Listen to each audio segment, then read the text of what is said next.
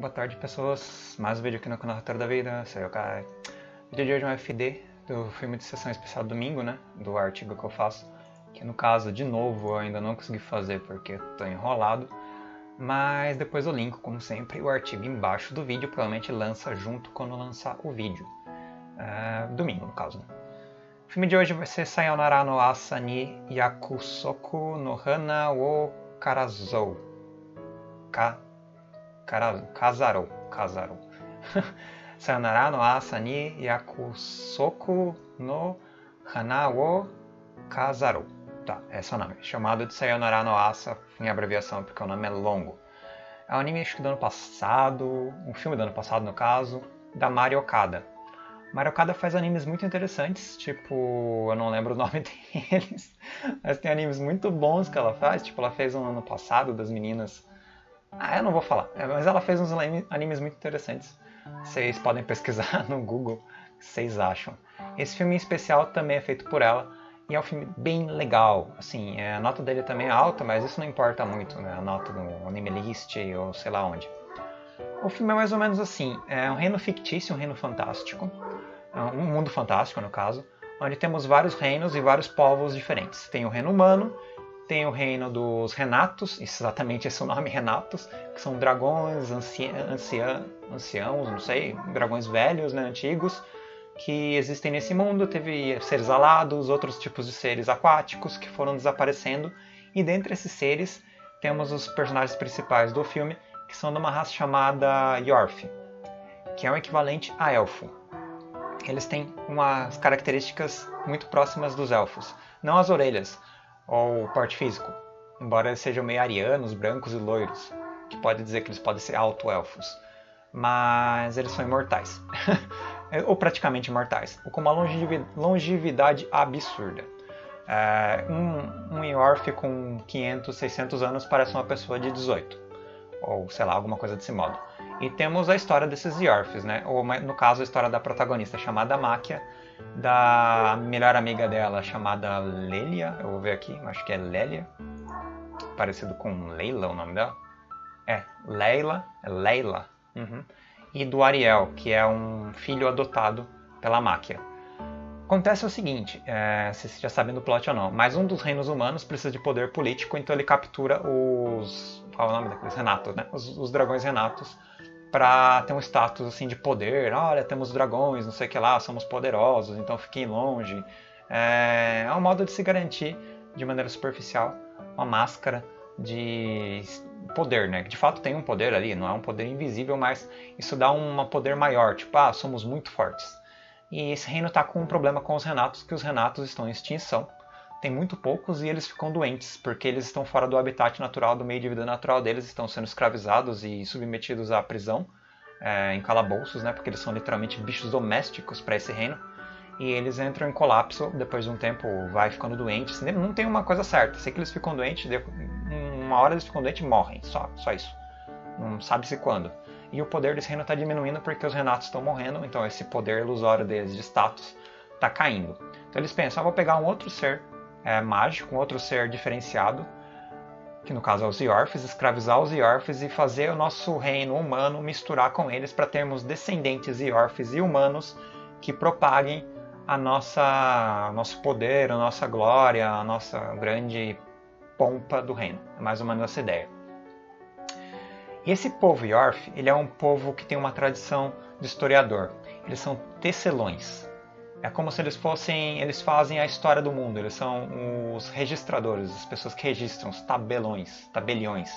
Eles pegam toda a história que está acontecendo no mundo e ela é lida através das, enfim, das, dos tecidos que eles fazem. Os tecidos deles são extremamente bem feitos, extremamente bonitos, muito valorados assim no mercado, mas também para além disso eles são meio que o, os guardiões do tempo, os guardiões da história. É, história milenária, enfim, é mais ou menos essa ideia. Eles só têm essa função, eles têm uma comunidade muito, digamos, estagnada, que eles vivem de maneira muito tranquila é, com a natureza.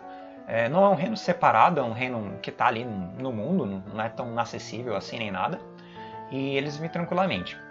Só que aí esse reino, que eu não lembro o nome agora, vou ver se eu acho o nome dele aqui. Ah, Deixa eu ver. Esse reino. Tá, eu não achei ainda. Mas de um modo ou de outro. Ah, Mesarte. O nome do reino é Mesarte. Esse reino de Mesarte, ele vai lá buscar os Yorfs fêmeas para escravizar, estuprar e dominar, para ter descendentes é, de sangue nobre que sejam meio Yorfs e meio humanos. É, e de fato eles vão lá e pegam todas as amigas da máquia, a anciã do, do grupo, a própria Leilia, ou acho que é Leila, e escravizam, literalmente. Eles vão lá e coisa. Só que nesse processo de escravizar, a máquia ela consegue meio que fugir sem querer e tem um conflito ali onde um dos Renatos descontroladamente, em crise, quase morrendo, é, no seu processo de momentos finais mesmo, é, totalmente surtado, em dor, ele arromba lá um, um dos salões que guardam a história, o registro da humanidade, que os Yarfs fazem, e aí ele escapa e acaba levando sem querer, é, meio que amarrada dentro do tecido, dentro, dentro dos tecidos a Máquia, que é a protagonista do filme. Aliás, passo os slides para vocês, para vocês darem uma olhada já. E o que acontece? É, no caso, é exatamente essa cena, onde temos o Renato puxando a Máquia. A Máquia cai no mundo humano, e ela está desamparada.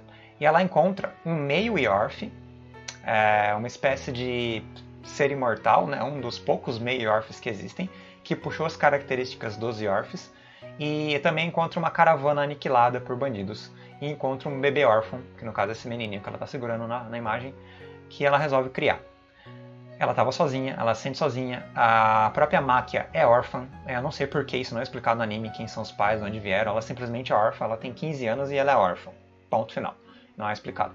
E ela começa a criar esse menino órfão também, que estava sem pais, e vai mostrando o decorrer da vida dela, conforme ela vai criando ele, ela busca ajuda em alguns adeões, ela começa a costurar para ganhar dinheiro, ela vai virar uma mãe de família mesmo, literalmente a mãe do menino. Ele vai crescendo com ela, e ela tem que se mudar, porque ela não quer incomodar mais a família onde ela estava hospedada, ela quer ser independente, ela vai para cidade grande, leva ele junto.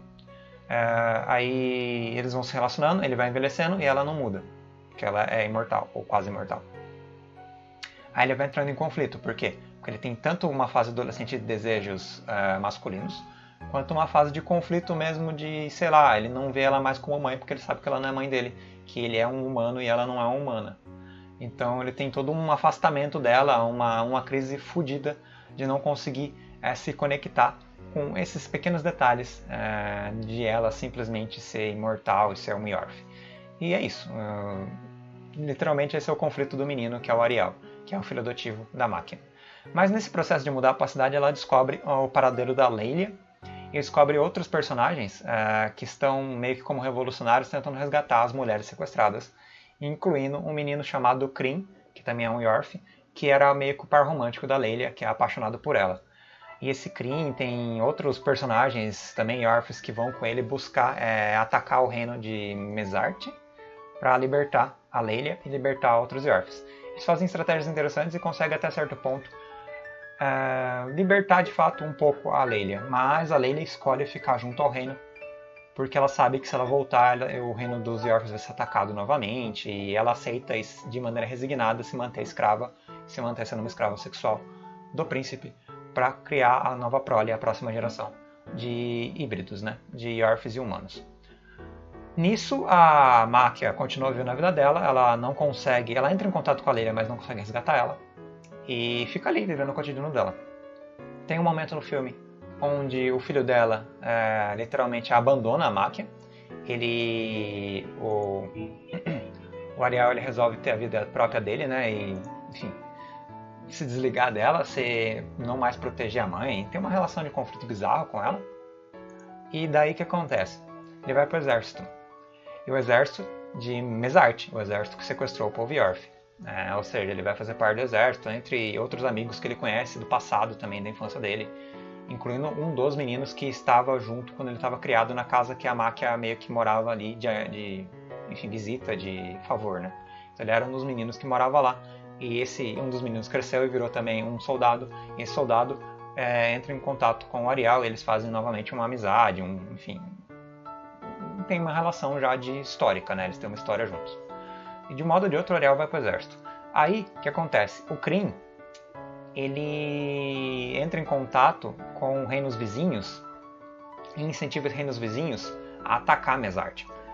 Isso é bizarro, porque ele tá fazendo isso simplesmente para resgatar a Leila. Ele tá pouco se fudendo para todo mundo que vai morrer na guerra. O Kryn tá bem surtado, na verdade. Ele tá bem foda-se pra tudo. Ele só quer literalmente resgatar o amor da vida dele. Ah, e daí nisso é engraçado por quê? Porque ele acaba sequestrando a máquina para vender ela para os reinos é, inimigos, né, os reinos inimigos de Mesart, e ela é estuprada. A máquina engravida. Só que no anime não fica claro o, mais ou menos como isso acontece. Que o cabelo dela cresce muito e ele fala, ó, quando o cabelo de uma Yorf cresce, quer dizer que ela tá grávida. Não mostra se ela tem filho no fim do anime, isso é um defeito do anime, não mostra o que aconteceu com esse momento, só é jogado na história que ela estava aparentemente grávida. E foda-se. então não dá para saber o que acontece futuramente. E a história debanda, é, Mesart perde a guerra, a Leila é resgatada indiretamente pela máquina e acaba o filme bonitinho. Mais ou menos bonitinho, né? Porque o Ariel é abandonado, ele abandona a mãe, a mãe dele abandona ele, ele reencontra lá, faz uma família com uma amiga de infância. O, alguns personagens não são mostrados o que acontece com eles, incluindo esse grande amigo dele que era o dono da casa onde a máquina morou de favor inicialmente. E também não mostra direito o que acontece com os Yorfs de maneira mais ampla. Sabe que eles reestruturam a sociedade deles, a Ancia toma seu lugar de novo de ser Ancia, a Mesort, que é o reino cai para um, os reinos que combatiam ele, né, que se invadiram, e não sabe o que acontece com o Mesart, fica em aberto. A mensagem do anime é uh, não se apaixone porque você não se apaixone por mortais, em geral é essa a mensagem do anime, porque eles vão morrer e você é um ser imortal e o dilema é vai sofrer. É simples assim. E a resposta é mais ou menos a seguinte: valeu a pena sofrer porque foi muito bom amar. Foi muito bom ter um filho, foi muito bom cuidar dele, embora a máquina tenha abandonado o Ariel lá com os seus 20 e poucos anos e só volta a reencontrar ele no leito de morte e vendo os bisnetos dela. Bisnetos no sentido não de, de sangue, porque ela não é de fato a mãe do Ariel, mas é mais ou menos essa ideia. E ela encontra lá de novo um dos Mayorfs que que quando ela encontrou o Ariel inicialmente era um, o Mayorf que ela achou também junto, que era uma espécie de ser vagante, é um tipo um bardo que anda de lá para cá no mundo humano. Ele não mora junto na vila dos Yorfs, ele é meio Yorf, então ele tem um contato muito maior com os humanos. Só que ele aparentemente também é imortal. Já a filha da Leilia, e aí ah, os Yorfs têm uma coisa importante, eles têm uma taxa de fecundidade muito baixa. Então é muito difícil engravidar uma Yorf. Eles conseguem engravidar a Leilia. Estuprando, lógico. Embora seja uma esposa e tal, mas é estuprando. E acontece, ela dá. Ela tem vazão para uma filha. Só que essa filha nasce só com características humanas, ela não é imortal. Ou seja, ela não pode ser é, o substituto dos Renatos, o substituto dos seres imortais. Ela não consegue ser a, o status quo do reino, porque ela é humana. Praticamente ela não tem nenhum fenotipo de, de, de imortalidade ou do cabelo é, que os Yorfs têm. Então ela é um fracasso. Eles não conseguem engravidar a Leila de novo e estavam até tentando sequestrar novas Yorfs para substituir a Leila, mas não deu certo. De um modo ou de outro, é, antes do reino cair e tal, é, e a Leila queria ver a filha dela, queria ter um contato com a prole dela tal, mas ela acaba escolhendo a liberdade, escolhendo a si mesma, escolhendo o egoísmo, escolhendo a, a sua história, apagando o seu, seu passado de sofrimento sem apagar, sabe? Virando as costas para tudo aquilo que foi ruim na vida dela. Embora ela sobreviva e volte a viver como na vilarejo dos Yarfs, como, como a máquina também faz. E essa é mais ou menos a história do filme. que eu dei muito spoiler e eu contei o filme inteiro. Por que eu fiz isso? Eu acho que eu fiz isso porque eu vi uns vídeos aí no YouTube que contavam o filme inteiro e eu acabei fazendo a mesma coisa. Eu deveria ter feito isso? Talvez não. Talvez não. Mas o filme vale muito bonito, vocês viram nas imagens. É um filme que vale muito a pena ver. Ele tem um fim agridoce, mas é um fim muito bonito. É um processo muito bonito. É um filme muito redondo. Um filme muito redondo, muito bacana. Vale bastante a pena de ver. É, a Mario Kada é uma ótima escritora, tem histórias muito boas. E é mais ou menos um conto de fadas de elfos no mundo humano, com um nome diferente.